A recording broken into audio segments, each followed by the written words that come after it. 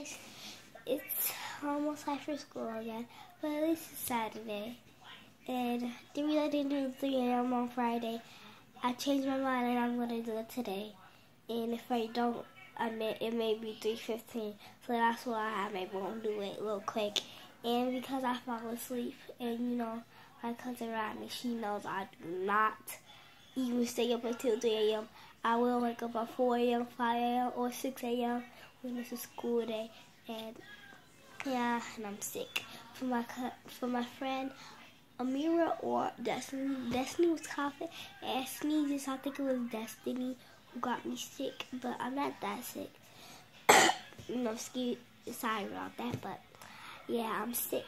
But I can still I can still walk around the house and stuff and I don't have to say it. I figured out that today because my mom, okay, this is embarrassing, but my mommy smelled my breath. She knew I was sick. I remember she told me that.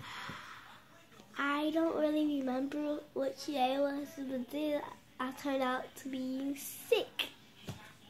So I have to stay away from Amira or Destiny because they gave me a cough and I don't want to get nobody else sick, so I'm gonna try to be healthy today and eat healthy food at school. I don't really want to. And yeah, my grandma's birthday is Wednesday, so I'm gonna post a video on Wednesday and I will give it to y'all so y'all can see. And yeah, that's the really what's going on. So bye, and I'll see you at the yeah yeah.